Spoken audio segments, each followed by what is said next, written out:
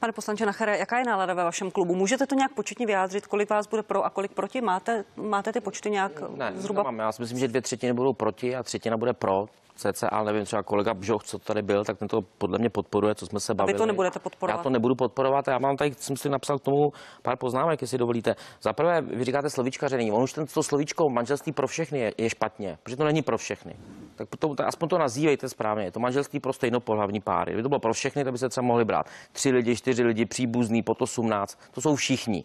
Všichni. Ne, počkejte, nechte mě, nechte, nechce mě, nechte mě domluvit. To znamená, už jenom tímhle s tím implikujete, že prostě narovnáváte to pro nějakou skupinu, ale nazýváte to pro všechny. To je špatně. Za prvé. Za druhé, za druhé, já jsem sám přišel s návrhem narovnat ta práva, nepojmenovávat to manželství. Eh, nicméně eh, ty útoky, které se potom ze strany aktivistů, neříkám té komunity samotné, ale těch aktivistů na mě eh, zvrhly, včetně placených inzerátů, Promiňte, buďte teďka konkrétní o hnutí jsme fér? O, ano, ano, mluvíte, ano, včetně placených inzerátů, že ten můj návrh vlastně to rozředňuje, tu, tu pozornost, tu sílu v té poslanecké sněmovně, tak jsem to tam ani nenavrhl, ani jsem to tam nedal, mám to v šuplíku nebo v trezoru, ten návrh vydělala Helena Válková, tam se narovnávají všechna ta práva, která jsou vyjmenována eh, v soudůvodové zprávě, ty odlišná práva u Je manželství a registrovaného partnerství. Ten název jsem pojal jako partnerství, ne registrované, ale jako partnerství. A poslední poznámka, jestli, jestli mohu, eh, ta nejenom, že já si myslím, že je to teďka, že to předkládají předkladatelé ve špatné době eh, v bezprecedentní hospodářské ekonomické krize, ale vy to, vy to předkládáte ještě navíc eh, a dopředu víte, že to nevyhrajete a podle mě to víte v mnohem konzervativnější poslanecké sněmovně, kde zastánci toho návrhu manželství pro stejnopohlavní páry, tak tam buď ty kluby nejsou jako sociální demokracie, a nebo jsou velmi malé jako Piráti a všichni ty, co jsou byli proti nebo jsou neutrální, tak, ty, tak tam se to zvýšilo. Jestliže to neprošlo ani v, tom, v té minulé poslanecké sněmovně, tak skoro vylučuju, že to projde v této. To znamená, tady má eh, pravdu Marek Benda, který někde řekl, eh, že teďka není čas na kulturní války. A ono to samozřejmě vyprovokuje ten, ten druhý návrh. To znamená, že manželství je vztah jednoho muže a jedné ženy. A místo, aby jsme řešili věci, které trápí ty lidi. Takže narovnat práva ano, nepojmenoval to manželství, už to mohlo být před třemi lety. Poděkujte aktivistům a všichni, ty- většina lidí z té komunity to chtě. Promiňte, já, já vám dám hned prostor, paní, paní, paní místo předsedkyně Richtrová, ale to, co jsem se ptala pane senátora, proč vám vadí to slovo? I podle lingvistů je vlastně nesmysl pět na tom názvu. Manželství se v různých jazycích jmenuje jinak. Čechům to zřejmě nevadí, protože v průzkumech podporovali manželství pro stejnopohlavní páry. Proč to vám tak vadí?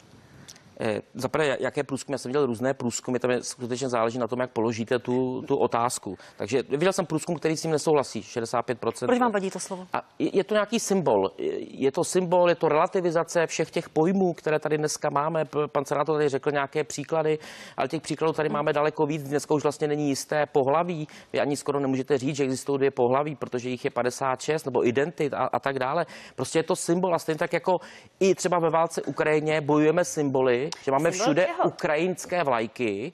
To taky neznamená, že jdete střílet na Ukrajinu, ale symbolizujete tím nějakou podporu, tak je to prostě symbol.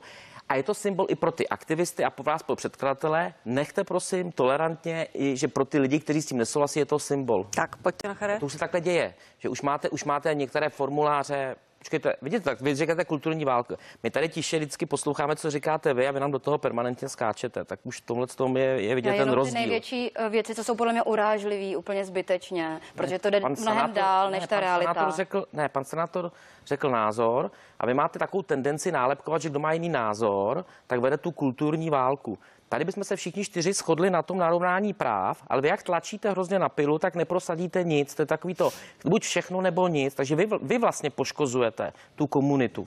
Já když jsem byl na debatě na Prague Pride eh, minulý rok, kde, bylo tohleto téma, tak jsme se tam o tom bavili. Já jsem tam byl v prostředí, kde oni tleskali těm kolegům, kteří byli pro, ale pak za mnou chodili ty jednotliví lidi a říkali, že mám pravdu, že oni sami nechtějí teďka tu pozornost. My tímhle s tím vlastně uputáváme na ty, na ty lidi na, z té komunity pozornost, kterou oni, oni nechtějí. A já jsem se jich zeptal, proč jste mi teda nikdy nezatleskali a oni řekli, no protože nemůžou, protože vlastně ta komunita jakoby navenek má vystupovat stejně. To je realita. Já se těm debatám nevyhybám, i, jestli mi rozumíte. Ale tohle je ta realita v té praxi. Pojďme narovnat ta práva, A netlačte na pilu tam, kde to prostě víte dopředu, že to neprojde. A nechte prosím té druhé straně nějak eh, ty možnosti vyjádřit svůj názor, aniž by schytali od vás nějakou nálepku. Jinak děkuju. to se děje, teď máme Ne, už děkuju. dneska rodič jedna, myslím, že rodič dvě. Paní, paní, paní. Já mám pocit, že už jsme eh, jako řekli, řekli všechno. Eh, Vy uvidíte, jak se povede ta debata, jaké se budou, jaké budou tlaky na, na, na ty jednotlivé poslance, kteří s tím, s tím nesouhlasí. Mně přijde prostě ta cesta, že se narovnají ta práva, eh, ta správná cesta, ono to prostupuje, co si vzpomínám, asi šesti nebo sedmi eh, Zákony. zákony. Eh, Je to docela jako robustní, robustní věc. Eh, V tomhle tom případě eh, opravdu eh, to, o čem tady mluvil pan senátor, ono to postupně nastává v, v jiné oblasti. My to musíme brát jako celek. My tady izolovaně řešíme manželství pro všechny. Ale my už dneska relativizujeme eh, pojmenování matka, otec, nahrazením rodič Nemám jedna, na rodič dvě. Eh, Je tady ten boj o tom genderu, o tom, že eh, eh, jak si transgender sportovci eh, jsou v kategoriích eh, muži bývalí v, v ženách, kde je poráží. A my to prostě, my tohle to prostupuje, jak, jak říkáte, vy, říkáte, že se to vyvíjí. A já říkám, je, je to správně, že se to vyvíjí tímhle tím způsobem, že tam, tam vlastně diskvalifikujete, poškozujete ty ženy tím, že vlastně umožníte někomu eh, tímhle tím způsobem fungovat. A já tohle to můžete říct, že to nesouvisí s manželstvím pro všechny, Ne, ale ono to, ano, ale ono to pro všechny lidi, já už to taky říkám, jo, je to manželství pro stejnopohlavní páry, ale ono, ale ono to je prostě o té atmosféře, o té náladě.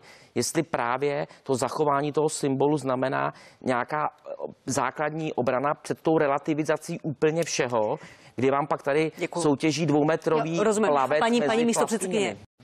Pane Nachr, uh, vaše eh, předsedkyně poslaneckého klubu Alena Šlerová řekla, akceleraci pádivé inflace způsobila tato vláda svojí nečinností.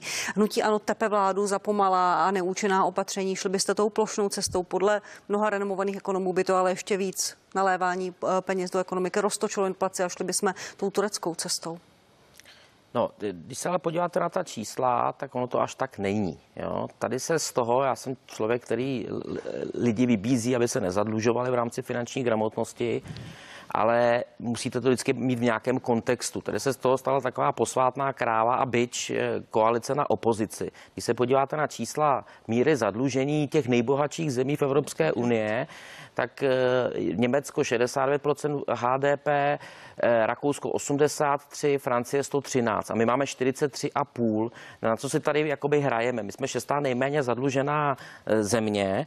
Když se tady bavíme, pan poradce premiéra mluvil o kompenzacích, že se ne, ne, nemají všem. Já s ním souhlasím. Tak jenom připomenu, že tato koalice bývalá opozice, když tady byl covid, tak chtěla kompenzovat šířeji na delší dobu a vyššíma částkama. Takže oni, když jsou v opozici, tak by kompenzovali všechny a když jsou u vlády, ne, tak se brání vlastně i těm eh, opatřením, která mají smysl, protože my jsme skutečně v eh, neuvěřitelné bezprecedentní situaci, kterou já neříkám, že ta vláda zavinila, ale Ona zavinila to, že s tím nic aktuálně nedělá. Furt rozlišuje plošné, neplošné opatření s tím, že já tady neustále dokola připomínám ve vašem pořadu už asi po páté, že plošným, cestou plošných opatření různého typu se vydalo 24 z 27 zemí a tato vláda si furt pojede svoje, takže potom, aby se vymezila, že vlastně my nemáme pravdu za každou cenu, tak pak přijde s tím jakoby kvázi plošným opatřením 5 tisíc příspěvek na dítě, zjistí, že ten, ta hranice milionů v čistém se týká 95%, takže by dostala nálepku, že také navrhuje plošné, tak to během tří dnů změní na, na tak to během tří dnů změní na hrubého. Ono to je v zásadě skoro plošné opatření. Problém je, že to je tím, že to je Promiňte, skoro pane- plošné, pane tak poslanče, to poškozuje lidi. Je opravdu jinde, prosím. Pane Ne, poslanče, ne, někde pane poslanče, já vám dám prostor, paní Richtová, ale když vidíme, jak dopadala některá opatření, plošná opatření, například v Maďarsku, kde vydávali benzín a naftu pouze na maďarské SPZky, vidíme dopad i plošného opatření, to je snížení spotřební daně. Ta cena benzínu a nafty dá roste a míří k rekordům, když se podíváte na, čerpací, na čerpacích stanicích na ty ceny. Ne, da- nedává to smysl ty argumenty odpůrců plošných opatření? Já, já vám řeknu, od- má- máte opatření krátkodobá, střednědobá v, t- v této věci. Takže vy třeba, když dočasně snížíte nebo zrušíte DPH, když odpustíte lidem platit eh, ten poplatek eh, za obnovitelné zdroje a v tom střední dobem se podíváte právě na tu lipskou burzu, podíváte se podíváte se na emisní povolenky, jestli to ještě v této chvíli, v této podobě dává smysl, tak jsou to přesně ty věci, eh, kterými dáte impuls i do té společnosti, a to přece to říká celou dobu tato vláda, že ještě horší jsou ta inflační, inflační očekávání. A inflační očekávání u lidí jsou v momentě, kdy vidí, že ta vláda přešlapuje na místě. Mimochodem není pravda ani to zadlužení. Teď vy jste představili rozpočty do roku 2024 a to zadlužení je 1,2 bilionu, což vám skritizoval i Miroslav Kalousek. To je víc než za poslední čtyři roky Babišovy vlády. Takže ani to není pravda. Takže vy nemáte opatření a teďka stejně to paní- zadlužujete. Paní, paní Richterová, To je možná důsledek toho nesmyslného Green Dealu, ale já bych tady chtěl říct, A to není- my to není, jsme, to asi, pane- že my pane poslanče, to není To jako- jsme, A- je to tak, ale- my, ale- se, my se zavazujeme k něčemu, co není jste ho realistické. schválili. Ne, ale my jsme... Vašimi hlasy byl přijat. Ne, počkejte, my jsme na hlavu největší vývozci elektřiny a na paritu kupní síly máme nejdražší. A to je prostě absurdita. To je absurdita, které ty lidi nerozumíte, jako kdyby Kuwait kupoval nejdražší ropu. To prostě nedává smysl, ne- není to logické. A ještě k, to, k té inflaci. Vy se podle mě milíte, vy si pletete nabídkovou, poptávkovou inflaci. Mikroekonomicky teďka ti lidé začnou šetřit a když jim všichni budeme říkat šetřete, protože bude hůř, protože ta čísla fakt vypadají, že to nebude dobré, tak víte, co se stane? Oni budou tak šetřit, že se zastaví ta ekonomika úplně totálně. Výrobci firmy nebudou vyrábět, budou propouštět a ono, ono to samozřejmě sebou nese. Znamená, mikroekonomicky šetřit Jenom znamená zastavit Děkuju. ekonomiku. Ti pane poslanče. Šetřit. Běžte se podívat do potravinové banky. Děkuji, pane poslanče, děkuji. Dě... Pane poslanče, nedopadla by tak i další plošná opatření, třeba týkající se potravin, že by to skončilo v maržích a spotřebitel by nic ne, nepocítil, když vidíme ty ceny na benzínkách? Tak my jsme od začátku, a já mám tady přípravu na nedělní party před měsícem nebo před dvěma, kdy jsem tady byl, a, nebo poprvé, když to ta vláda s tím přišla, tak, jsme, tak jsem říkal konzistentně, že to je nedostatečné, že to je nedostatečné, že se to nijak neprojeví, že to je pozdě, že eh, je potřeba šáhnout, jak tady říkal pan senátor, do eh, výrazně třeba do DPH a dal, dával jsem tady i příklad toho, že v momentě, kdy cena je mezi náma a Polskem tak rozdílná, že to je rozdíl 9 korun, takže třeba kamiony používají Českou republiku jenom jako transitní zemi. Oni tady projedou, načepují do Polska, zase z náma projedou zpátky tam, kam potřebují. Takže neplatí ani teze, že když snížíte eh, s nějakou daň, třeba DPH, takže vyberete méně, protože můžete vybrat víc, protože vám začne víc, eh, víc těch, v tomhle tom případě kamionů, a tady jsem dělal ten výpočet, tankovat. Nicméně dovolte mi ještě jednu poznámku. Tady na tom je vidět, bohužel, ta zoufalost té vlády i v té argumentaci paní místopředsedkyně, která na dotaz týkající se pohodných hmot zabrousila oslým mostem, to ani není můstek, na Andreje Babiše v roce 2014 ve vztahu k Temelínu úplný nesmysl, který s tím nesouvisí. Rozumíte, tady cena benzínu v roce 2022 a vy jako opozice v koalici, jsem to teda pochopil, že si s ním nesouhlasili, argumentujete něčím, co teďka tady si nemůžeme doložit, eh, co udělal Andrej Babiš, který vlastně ani nebyl, protože on byl minister financí, tuším od února 2014, eh, co udělal s Temelínem. Chápete to? Tak na, na, na této vlně Piráti jedou v komunikaci této vlády. Nechává